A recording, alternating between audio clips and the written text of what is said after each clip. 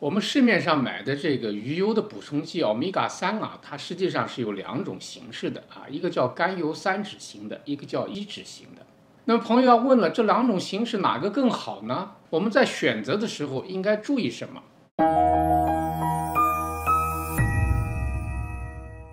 欢迎来到思维健康，健康是我们最大的财富，让我们一起管好它。我是杨医师。首先啊，我们要问一个问题：我们吃肥鱼吸收到我们身体里面的欧米伽三啊，里面含有 EPA 和 DHA，它是一种什么样的脂肪形式呢？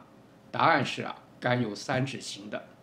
这就意味着，从进化的角度来看，我们的身体啊，它是能够很自然和有效的利用这个甘油三酯型的脂肪酸的。那么为什么人要搞出乙酯型的鱼油补充剂呢？而且这个乙酯型的欧米伽三补充剂在市场上还越来越普遍，那就是因为在制造鱼油补充品的时候啊，有两个难题，一个呢就是要把欧米伽脂肪酸啊从鱼的脂肪里面提炼和浓缩出来，才能够达到我们所需要的补充剂量以及呢 DHA 和 EPA 的比例重组；另外一个呢就是要清除鱼的脂肪所含的污染。包括重金属啊、药物啊，还有其他的工业污染，所以呢，安全嘛，当然还是第一位的。那么这个过程呢，就是通过乙基化来完成的啊，就是把这个甘油三酯类型的鱼油溶解，然后浓缩提炼，变成了乙酯类型的鱼油。这种类型的鱼油啊，它的好处是它可塑性好，佛点高，也就是更耐热，所以呢，在加工呢、分装和分销的时候都更方便。啊，但是这里面有一个问题，就是我们肠道的乙脂肪酶啊，它可以分解甘油三酯，但是呢，它不能够在肠道分解这个乙基酯。这个乙基酯啊，要被肠道细胞吸收了之后，啊，转化成甘油三酯呢，才能够被身体利用。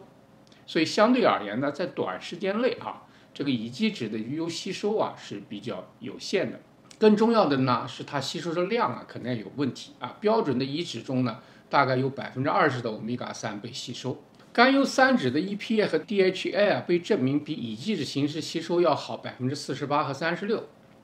乙基酯形式的欧米伽三的鱼油啊，它比天然的甘油三酯形式的鱼油呢稳定性也要差一些，啊，容易氧化。除非呢你跟高脂肪的食物一起吃啊，才能提高它的吸收水平。所以大家吃这个鱼油的时候啊，一定要跟含脂肪的这个饭啊一起吃。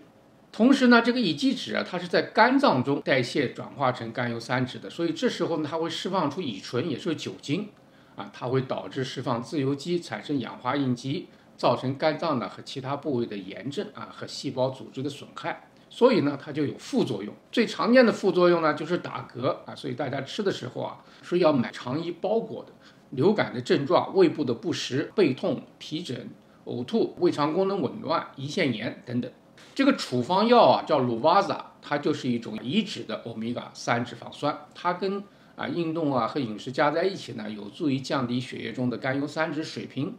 它呢也就有这些副作用。如果您有使用鲁瓦萨的体验的话，在留言区跟我们分享。那么为了避免这些问题呢，就有人把天然鱼油用乙基化清洗浓缩以后呢，再把它重新转化成甘油三酯性的鱼油。当然了，这个生产成本就比较高，产品的价格呢也会比较贵。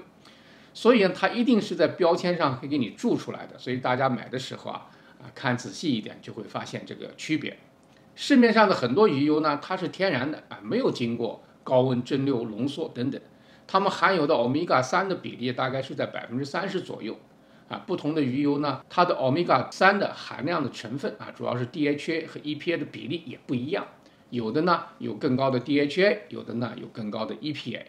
那么这个 DHA 和 EPA 到底有什么样的区别呢？有什么不同的功能呢？我们在今后的视频啊，继续跟大家探讨。请不要忘记订阅我们的频道，点击小铃铛，您就不会错过我们以后的视频。端粒世界，守护健康，我们下次节目再见。